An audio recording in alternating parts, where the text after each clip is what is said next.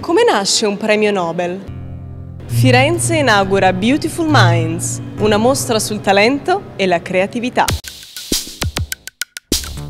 La versione fiorentina della mostra, già realizzata a Stoccolma nel 2001, celebra i 100 anni dalla nascita dei premi, con una sezione in più dedicata a 19 Nobel italiani. La straordinaria miscela tra creatività degli individui e creatività degli ambienti è presentata in uno spazio multimediale attraverso filmati, oggetti originali e documenti. Tra le grandi personalità del Novecento vincitrici del Nobel, solo poche sono donne e forse è proprio per questo che sorridono. Beautiful Minds, una finestra sul mondo e sull'origine della creatività. Beautiful Minds, Palazzo Strozzi, Eva Pratesi, C10.